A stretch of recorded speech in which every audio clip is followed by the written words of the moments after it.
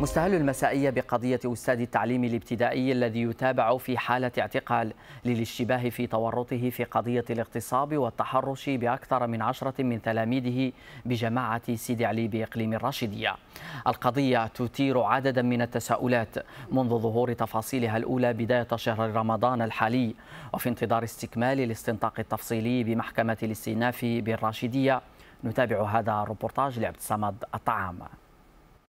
ما تزال قضية رجل التعليم المشتبه فيه باغتصاب أطفال حديث الساعة بتفراوت على بعد 230 كيلومتر جنوب الراشدية. قبل الواقعة كان بيت الأستاذ مفتوحا في وجه ساكنة الدوار. فضح هذا السيد خرج من عنده واحد الدري ومع شي صرف القدر ديال 10 دراهم سول آه، البنات ديال ديال الدرب.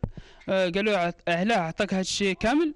قالوا له ما دار لي ما دار لي. وفاش تفضح القضية سولناهم كل واحد كيسول ولده وكل كل واحد كيقول له ما دار لي ما دار لي. والليل كيسهرني ولدي. لا العظيم ما نعرف مالو. هنا وقعت هذه الحاجة قال لي أستاذ اللي دار لي هذا الشيء.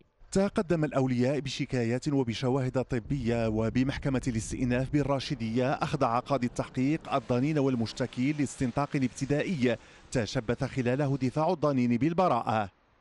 بطبيعة الحال الفصل 100 119 من الدستور ينص على أن البراءة هي الأصل وأن ما دام البراءة هي الأصل وهذه قاعدة آمرة من النظام العام حتى واحد ما يمكن الآن نقولوا هذاك السيد راه ارتكب ديك الجريمة أو ما ارتكبهاش. ما دام الأصل هو البراءة لحد الآن باقي بريء حتى تقول العدالة الكلمة ديالها في الأخير.